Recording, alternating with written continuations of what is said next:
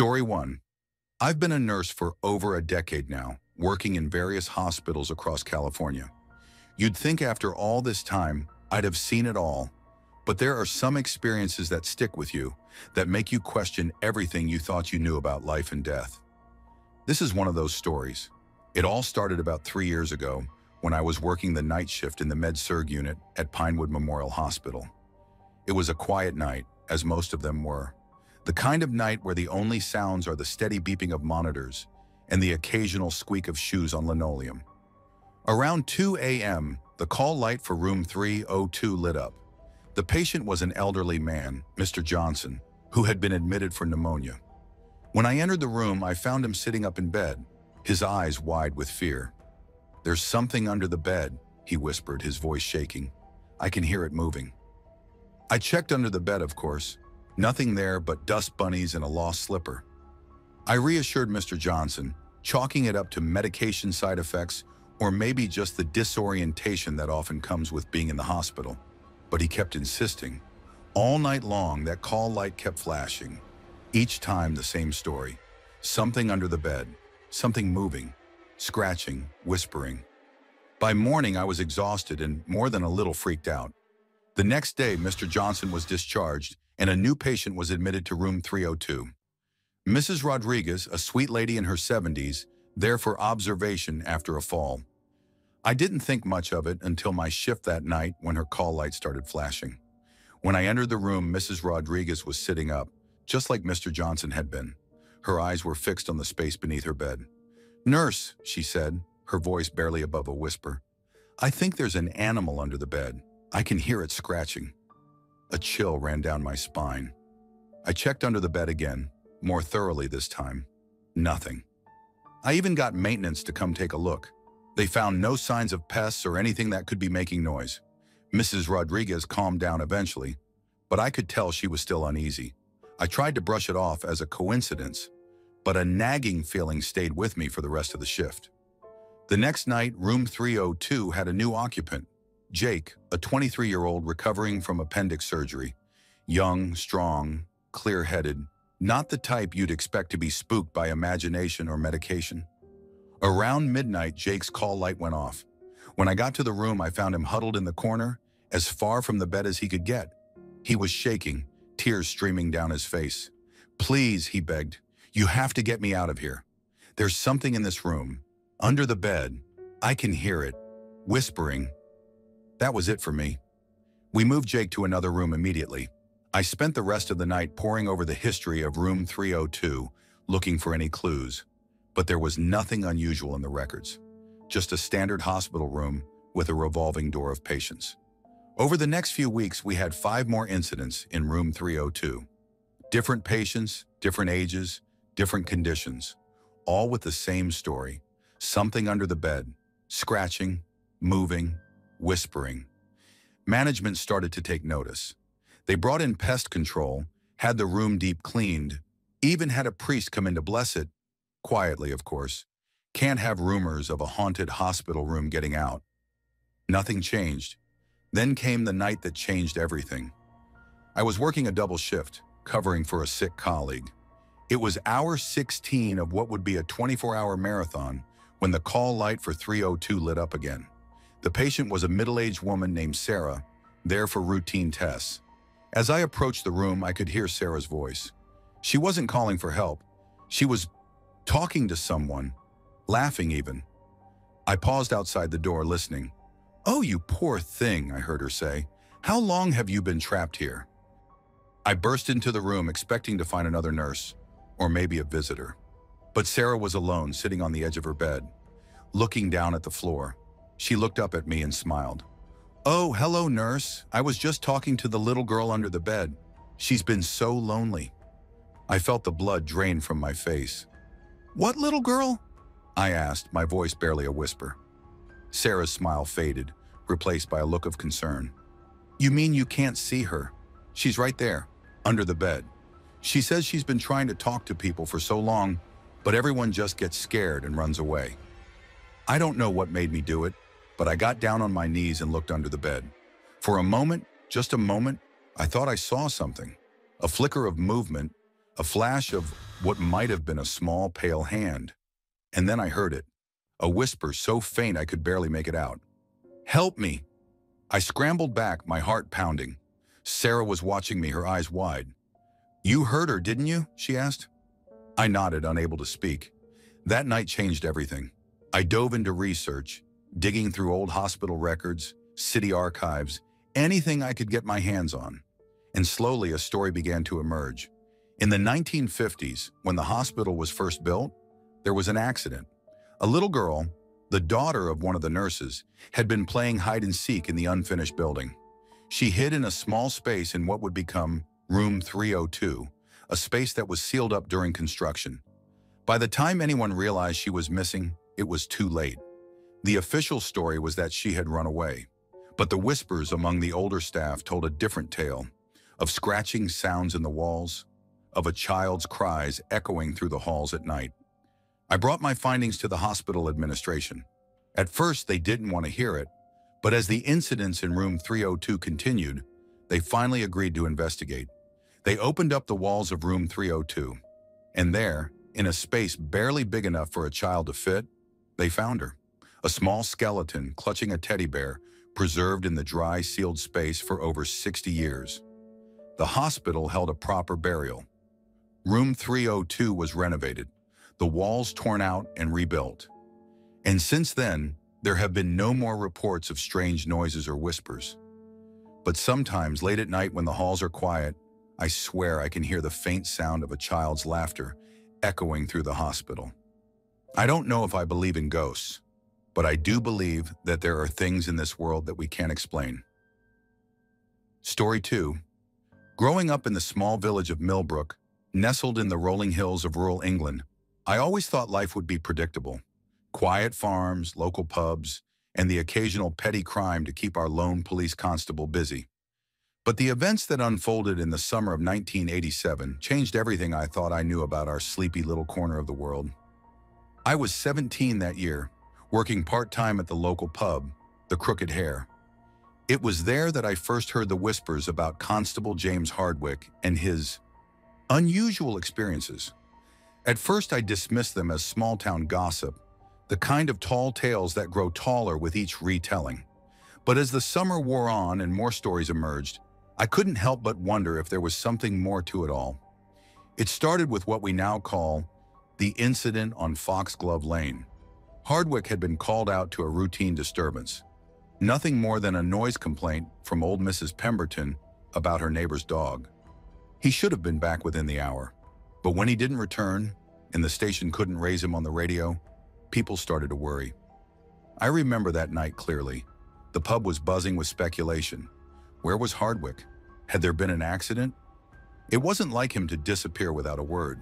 As the hours ticked by, the theories grew wilder. It wasn't until nearly midnight that we heard the roar of his patrol car coming down the high street. Hardwick stumbled into the pub looking like he'd seen a ghost.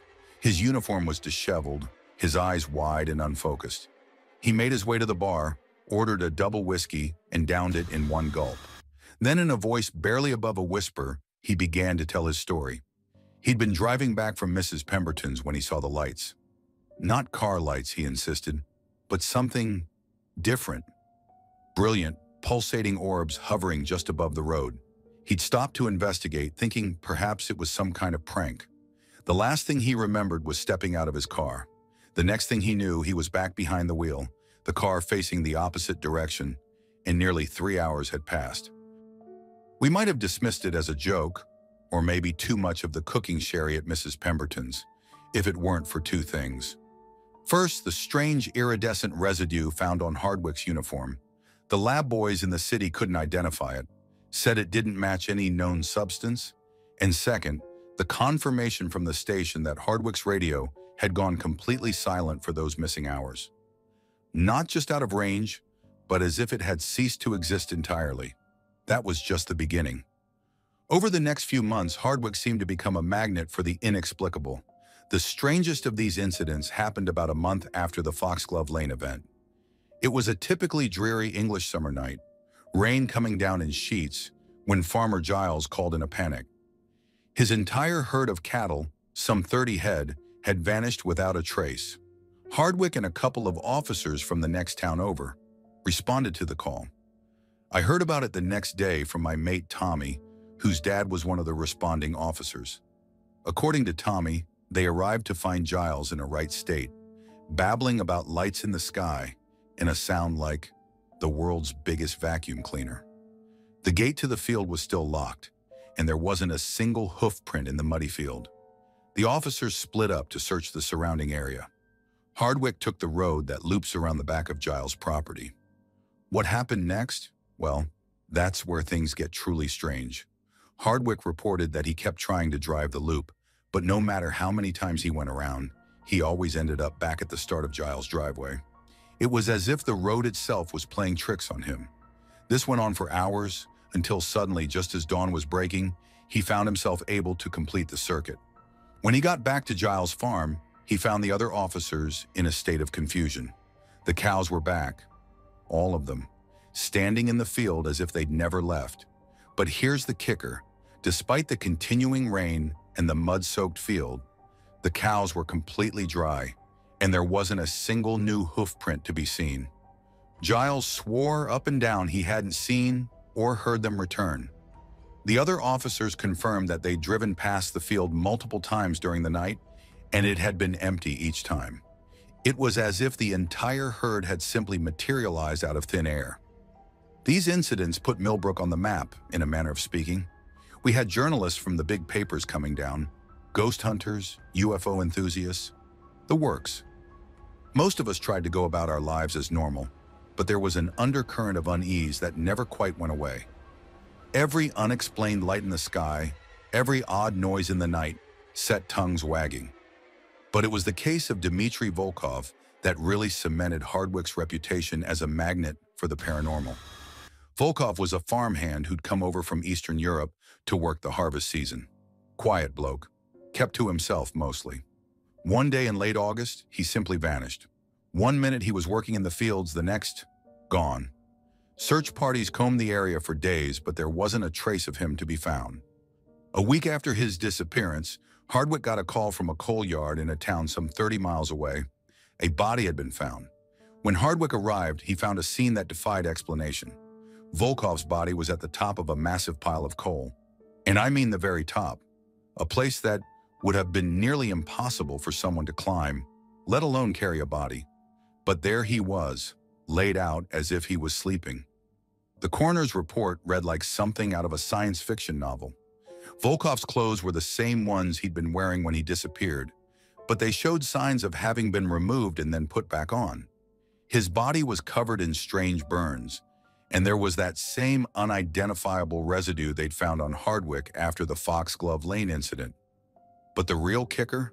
According to the coroner, Volkov had been dead for less than an hour when he was found.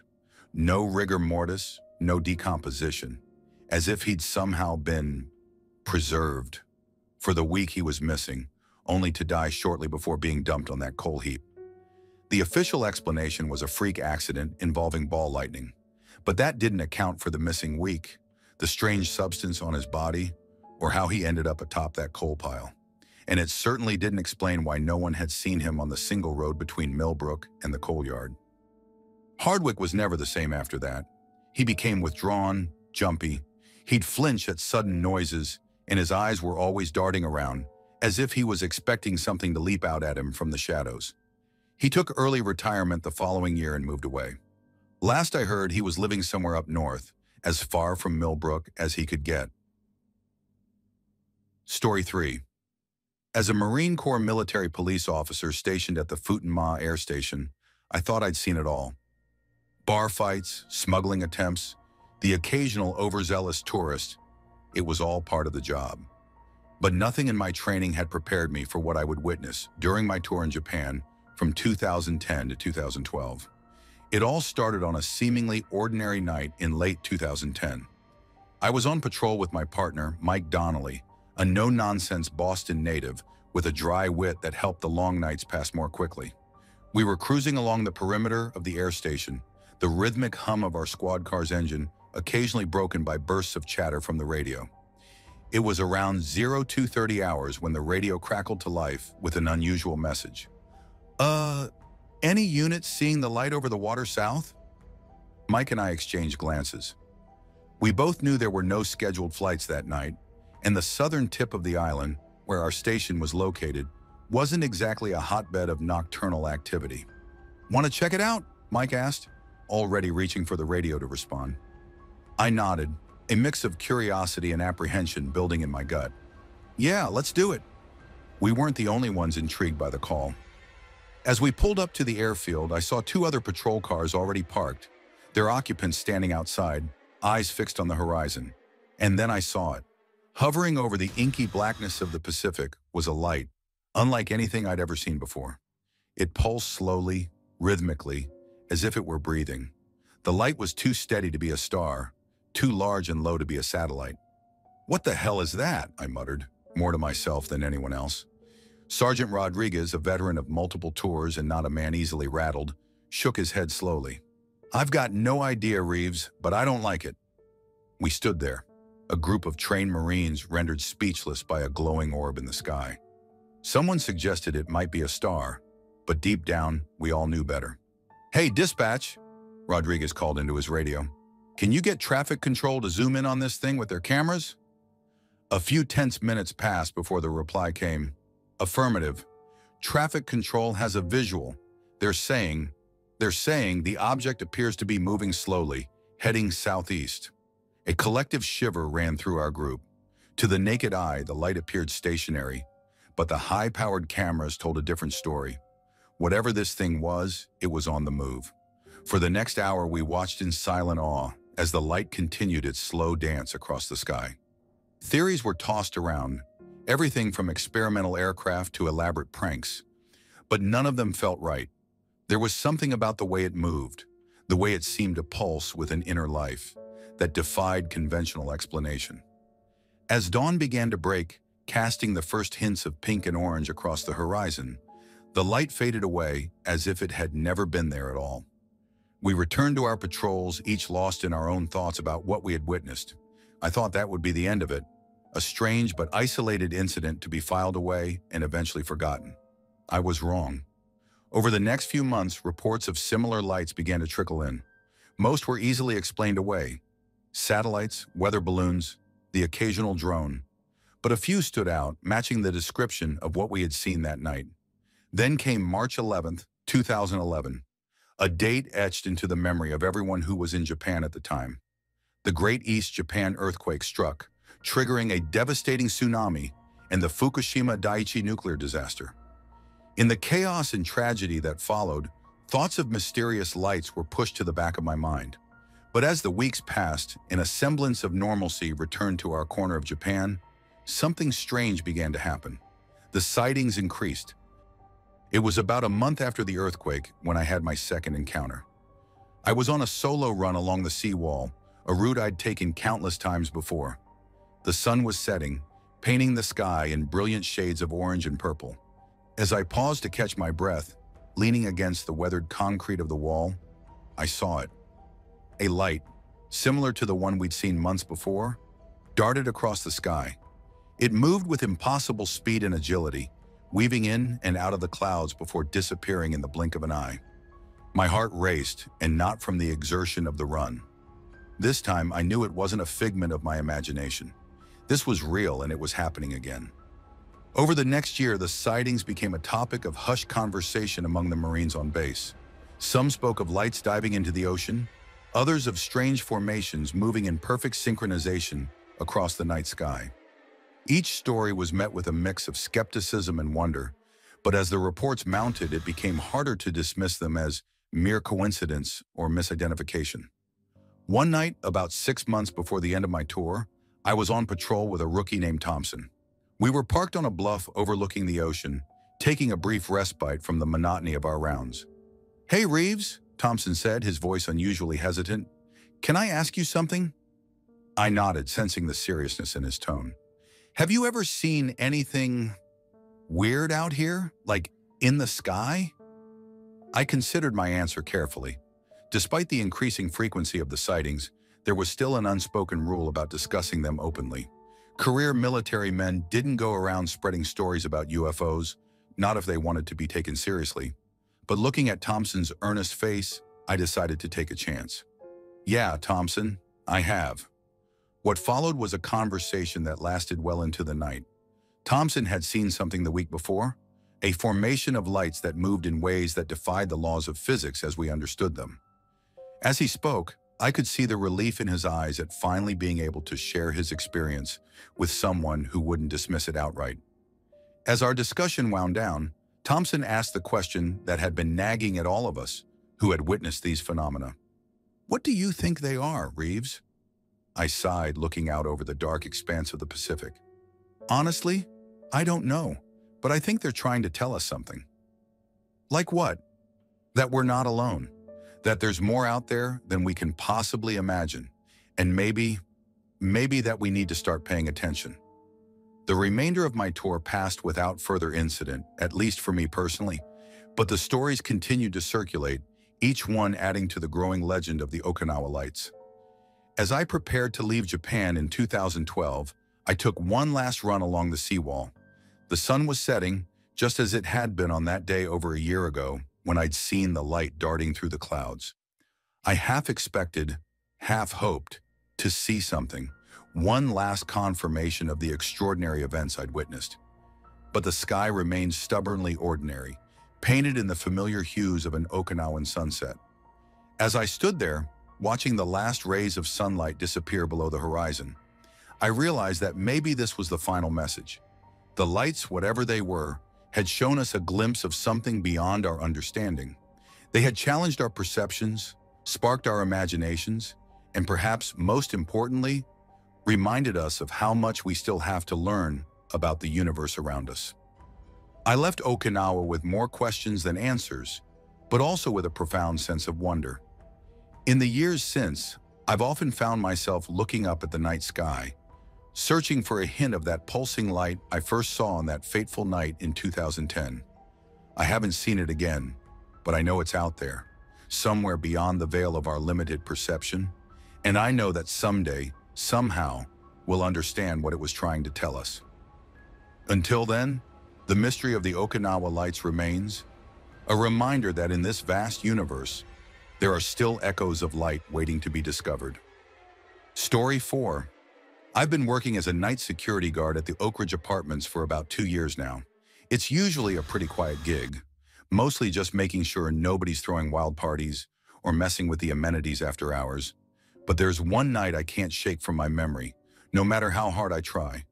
It was a chilly October night, maybe three or four months ago. I was doing my usual rounds, which always ended with a check of the rooftop pool area. Management's really strict about that pool, it's supposed to be closed and locked up tight after 10 p.m., no exceptions. Anyway, I was heading up the stairwell to the roof around 2 a.m. It was cold as hell that night, so I was taking my time, trying to stay warm in the stairwell before I had to step out into the wind. That's when I heard it. Laughter. At first, I didn't think much of it. People in the building throw parties all the time, and sound carries weird at night. But as I listened, the laughter got louder and louder. It wasn't just a chuckle or a giggle. This was full-on, gasping for air cackling. The kind of laughter that makes you wonder if the person doing it is okay. I paused on the stairs trying to figure out where it was coming from. It didn't sound close enough to be the pool, but it was definitely coming from above me. As I stood there listening, the laughter suddenly cut off and was replaced by shrieking. Now, I've heard all kinds of noises in this job. Arguments, parties, you name it. But this shrieking, it made the hair on the back of my neck stand up. It wasn't scared shrieking or angry shrieking, it was just inhuman. I took a deep breath and pushed open the door to the roof. The shrieking stopped as soon as I stepped outside. The rooftop was pitch black. The lights around the pool were off, and clouds were covering the moon. I pulled out my flashlight and started sweeping it around, trying to spot whoever was making the noise. That's when I noticed something weird. There were footprints on the roof, bare footprints, like someone had been walking around up here with no shoes on. But here's the thing, these footprints were dirtier than the roof itself. It was like someone had stepped in mud and then walked across the clean rooftop. I followed the prints with my flashlight. They were strange, no heel marks, just the ball and toes of the foot. Like whoever made them had been tiptoeing around. The prints led right up to the edge of the roof, then just stopped. I want to be clear here. The roof of this building is only accessible through the stairwell I came up. The door is always locked, and I had the only key. To get up here any other way, you'd have to scale a 12-foot concrete wall, in the dark, in the cold. As I stood there trying to make sense of what I was seeing, I heard the laughter again. This time it was right behind me. I spun around, heart pounding, but there was nothing there. Just more of those weird footprints leading back towards the pool area. I followed them, my hands shaking as I held the flashlight. The prints led right up to the pool's edge and then vanished. I swept my light across the water, half expecting to see a body floating there. But the pool was empty and still, like a sheet of black glass in the darkness. That's when I saw it. A ripple in the water, right in the center of the pool. Just one ripple, spreading out in a perfect circle, like something had just dropped into the water. I don't mind admitting I ran. I bolted back to the stairwell and didn't stop until I was back in the security office, door locked behind me. I spent the rest of my shift watching the security cameras, but they didn't show a thing. No one on the roof, no one in the pool. Just empty darkness. When morning came, I went back up to check. The footprints were gone. The pool was undisturbed. If I hadn't taken a picture of those footprints with my phone, I might have convinced myself I imagined the whole thing. I've been back up to that roof every night since then, but I've never seen or heard anything like that again. Sometimes on really quiet nights, I think I can hear faint laughter on the wind, but I tell myself it's just my imagination. The thing is, I looked into the history of this building after that night. Turns out about 10 years ago, before the building was renovated, a young woman fell from the roof. The official report said it was an accident. She'd been drinking, lost her balance, but there were rumors that she'd been pushed or that she jumped. They say she was a dancer, that she loved to dance in high places. Some of the longtime residents swear they've seen her sometimes, dancing on the edge of the roof in the moonlight. I don't know if I believe in ghosts. I don't know if what I saw that night was a spirit or a prankster or just my mind playing tricks on me. But I do know one thing. Every time I go up to that roof now, I make sure to announce myself. I've thought about quitting this job, finding somewhere else to work, but something keeps me here. Maybe it's curiosity, maybe it's a sense of duty, or maybe, just maybe, it's the hope that one day I'll solve the mystery of the midnight dancer on the roof. Story 5. I used to work as security guard at Millbrook Flats. It's an old apartment building that used to be a poorhouse back in the 1800s. It all started in late October. We began getting calls about fire alarms going off in the middle of the night. At first, we thought it was just faulty wiring or maybe some pranksters. But then it kept happening, night after night, always between 2 and 4 a.m. The weirdest part? Every time we'd show up, the residents would be huddled outside, refusing to go back in. They'd tell us they could hear a woman crying inside. Some of them thought it was a homeless person who'd snuck in. Others said it was a crazy tenant, but no one ever found anyone.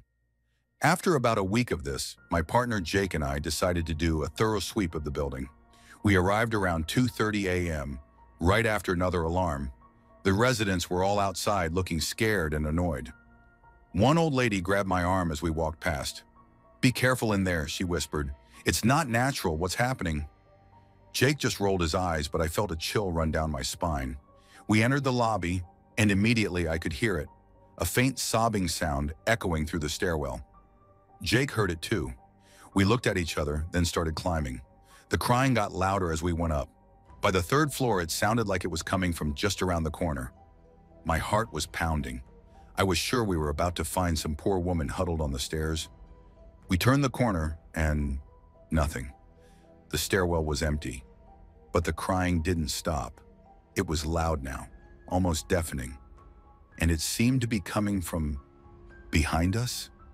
We spun around, and I swear the sound was coming from the top step of the stairs we'd just climbed. But there was no one there, just empty space. I don't mind admitting I nearly pissed myself right then and there. Jake's face had gone white. We stood there for a good minute, just staring at that empty step while the crying echoed around us. Finally, Jake snapped out of it. Let's get the hell out of here, he said. I didn't need telling twice. We practically ran down the stairs and out of the building, Outside, the residents were waiting. Did you find her? Someone asked. We just shook our heads and got in our car. I thought that would be the end of it. Maybe it was some kind of mass hallucination or something. But it kept happening. Every few nights the alarms would go off, and we'd get called out. Sometimes we'd hear the crying, sometimes we wouldn't. But it was always the same story from the residents, a woman sobbing in the stairwell. About a month after it started, I was working a night shift alone. Jake had called in sick. Around 3 a.m., I got the call about Millbrook Flats again. I didn't want to go in alone, but it was my job. The residents were outside as usual. I took a deep breath and went in. The building was dead quiet at first. I climbed the stairs slowly, my flashlight beam bouncing off the walls. When I reached the third floor landing, I heard it. That same soft crying. My hands were shaking so bad I could barely hold the flashlight. The crying got louder as I climbed. When I reached the fourth floor, it sounded like it was right next to me. I turned, expecting to see nothing like before, but this time there was something there. A figure, barely visible in the dim light. It looked like a woman in an old-fashioned dress, her face hidden in her hands as she sobbed. I opened my mouth to say something, but no sound came out. Slowly, the figure lowered her hands. Her face, God, I'll never forget it. It was pale as death, with hollow black eyes that seemed to stare right through me. Her mouth opened in a silent scream. I don't remember running out of the building.